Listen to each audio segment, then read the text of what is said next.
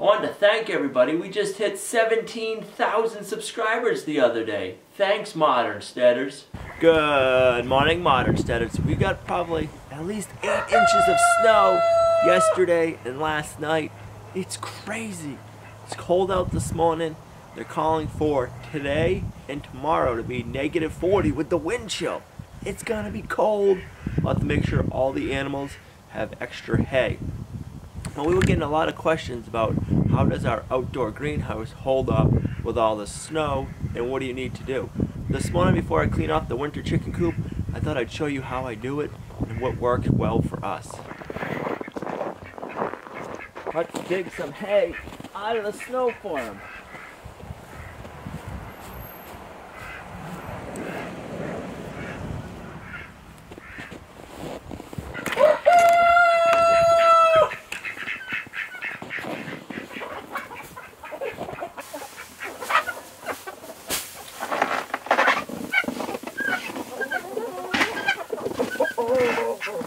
They love the fresh hay this time of the year especially. They'll peck through it, eat all the grains. To help encourage that, I just put the food on it.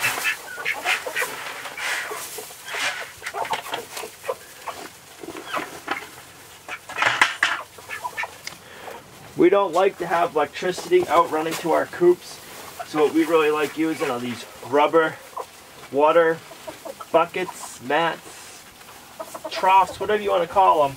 When they get frozen, flip them over, step on them, boom.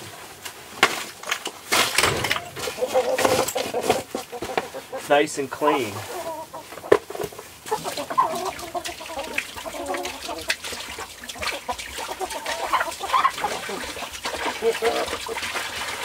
With the snow on the greenhouse, it gets pretty dark in here too. What I use to clean off the greenhouse, whatever I have in my hand. If you have a push broom, that works good. If you have your feed bucket, that works good too.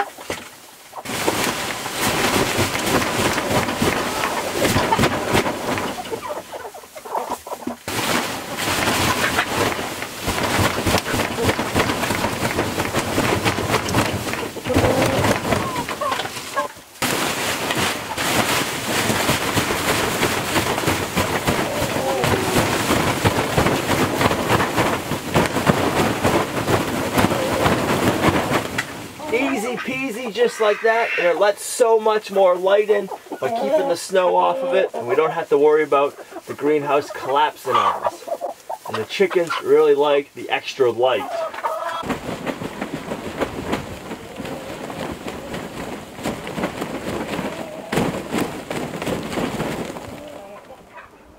One of the other really good benefits about doing this is it piles up the snow along the side of the winter chicken coop slash greenhouse and it helps keep out the drafts. It seals it up. Believe it or not, snow is a very good insulator. Believe for every inch of snow, you get one R value. So that's pretty good. So the heat can go up the top, which is fine, but if we can keep a lot of the drafts out on the sides for the animals, it's great. You don't want it airtight because your animals need fresh air circulating. You couldn't have your animals in a barn a heated barn. That's not good for them. You want to have them out of the elements. The biggest thing is you want to keep them out of the wind, and they want, you want to have a place for them to go and get in from the wind, in the rain or water. But the elements, the cold, is still good for them. You just want to have it a draft-free area. It's kind of weird. Like we want to go inside in a warm house. I'm sure the animals would love to do it, but it's not healthy for them. So we got to remember that. We're not animals don't react to this weather the same way we do. The more they're out in it, the better it is for them, especially the more natural it is. Like our pigs are getting a huge winter coat on them, so that's keeping them warm. Yesterday when I was out feeding them in the afternoon, it was snowing out good, but all the snow was melted off them. They were wet from sweating. And then they can go inside their tote with the hay, go in there, they can dry off, they can get warm, they can go back in and out. This weather doesn't bother them. They're getting acclimated to it. They're doing really good. Speaking of that, let's go check on the pigs and see how they're liking all the snow we got.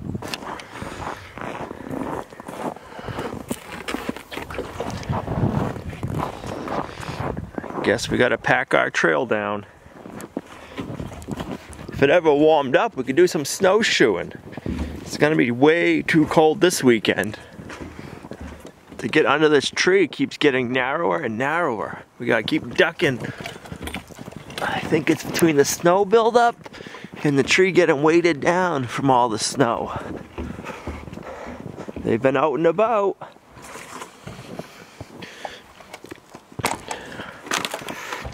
Good morning.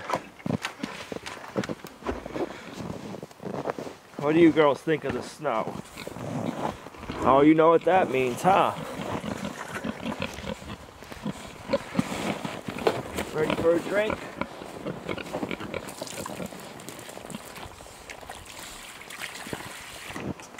Pigs slurping in the background. I don't know if that noise will ever get old.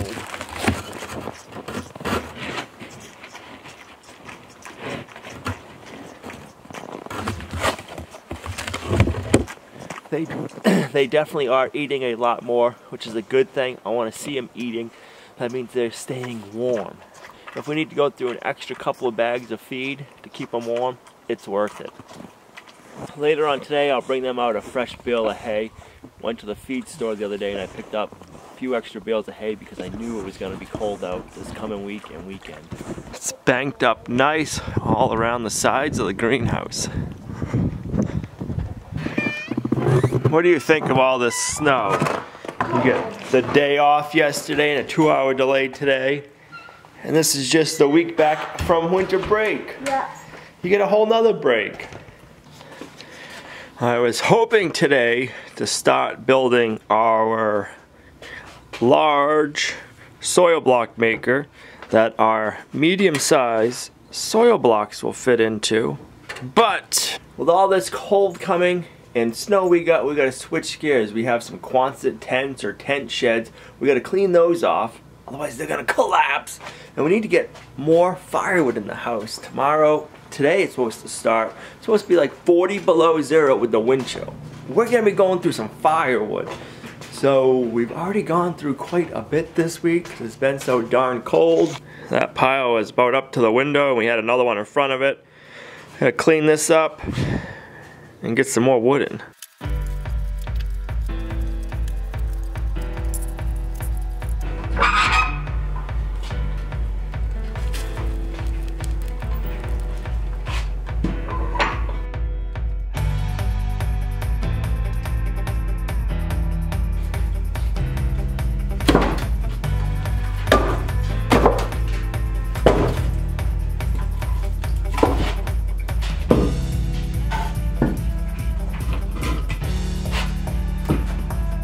Apron's drying nicely. I might have went a little overboard.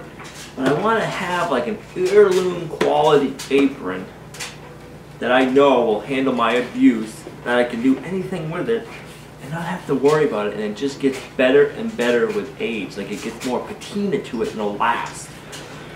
That's when I like to do stuff.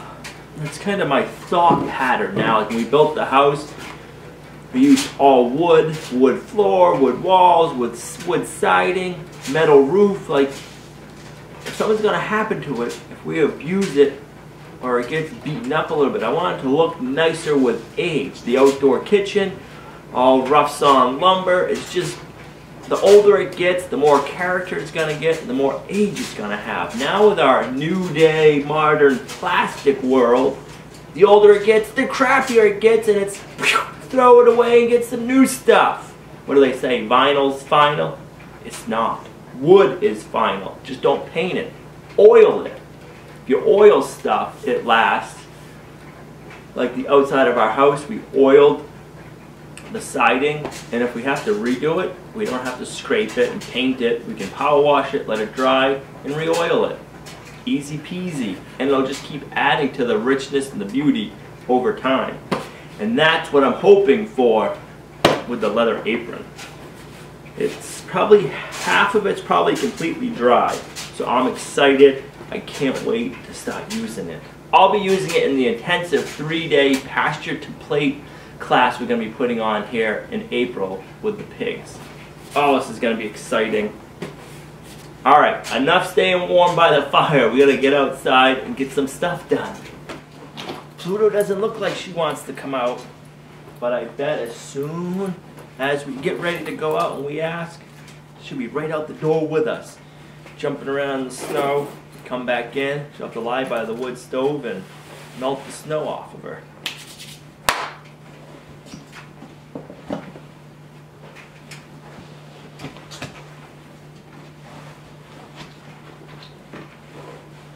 You ready to go out?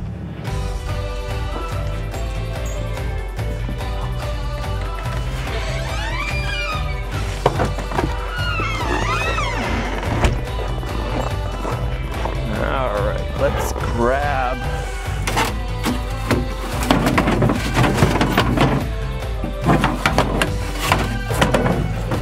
snow shovels, hay for the animals, snow broom. This thing works amazing for cleaning off your cars. We're not using it for that right now. Right, Pluto? Guess first of all, I gotta get in the here.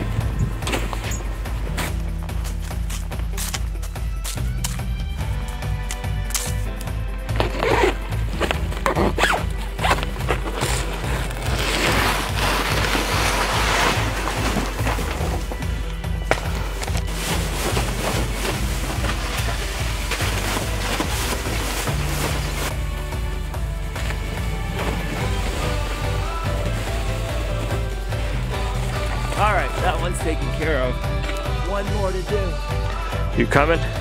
Come on, this way.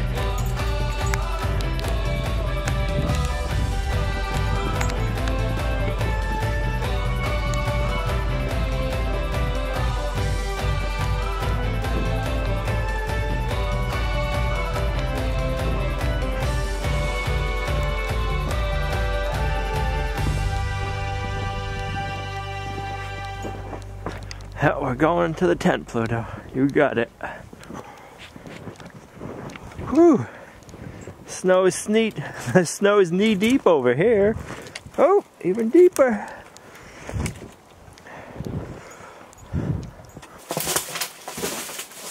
This Quonset tent was over that way quite a bit. The tractor was parked in it. We had a microburst that came through last spring. Took the tent off, threw it up in the trees. But a month later, it landed back down over here. We haven't used it for the Kubota since. But we gotta make sure we keep it cleaned off. Otherwise, it's gonna cave in and it'll be junk.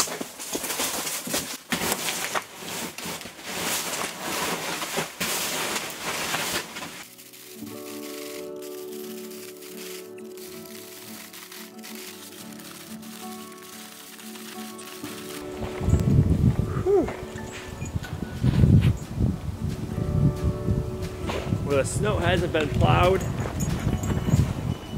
Knee deep right now. It's just the beginning of January. We're gonna get a lot of snow this year. I think Monday and Tuesday they're calling for more snow. Glad I got that roof cleaned off. It would have caved in with the next storm, I bet you.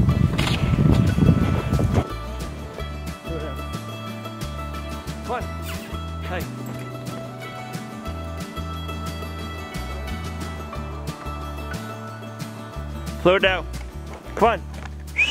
Pluto, let's go. Hey, Pluto.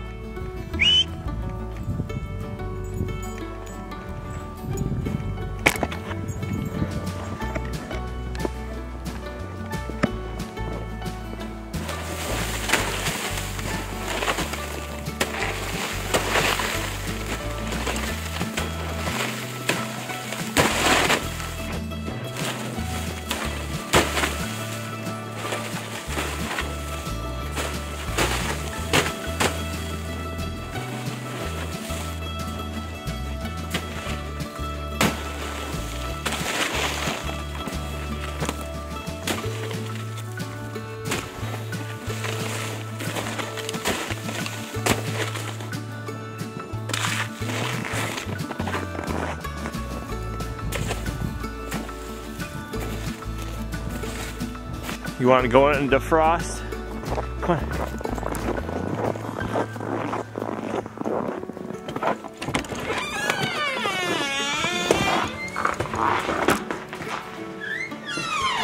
You're nice and warm, Figaro.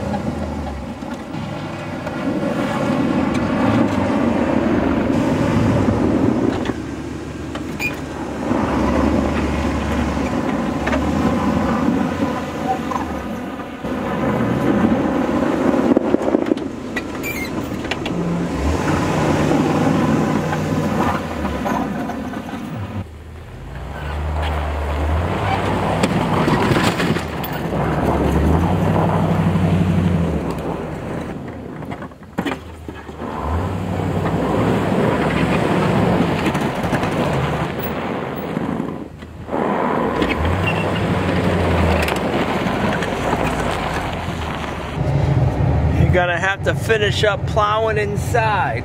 The camera's not liking the wind chill out there this morning. We've already had a few camera errors.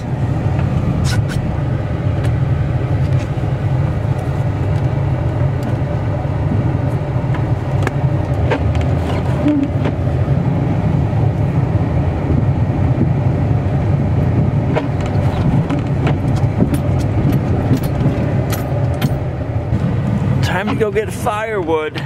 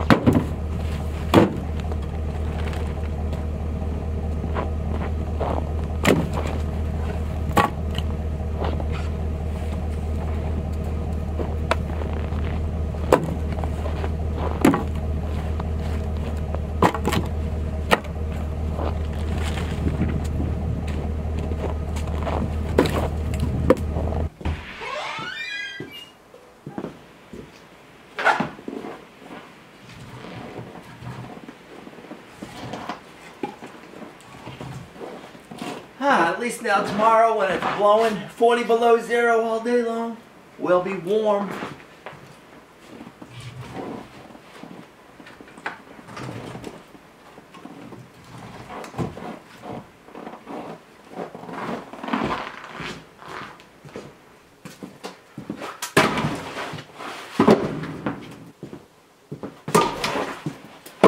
Figaro will be happy too. He's got a new log pile to climb on.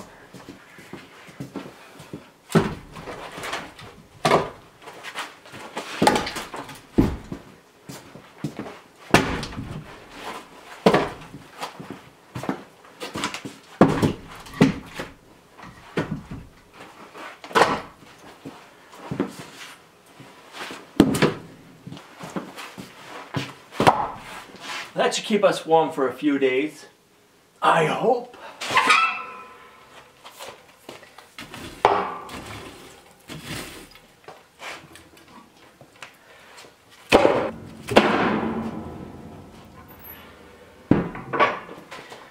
Ah, there, now I know. I can sleep good at night. We'll have a nice warm house. We lose power. We don't have to worry about electricity heating our house. If it's 40 below outside, we got plenty of wood in the house. but We don't got to go outside and get it. I'm ready to stay inside this weekend. Thanks for liking, commenting, and subscribing. We'll see you right back here tomorrow at Lumnah Acres, a guide to modern homesteading, self-sufficiency, and freedom. Bye.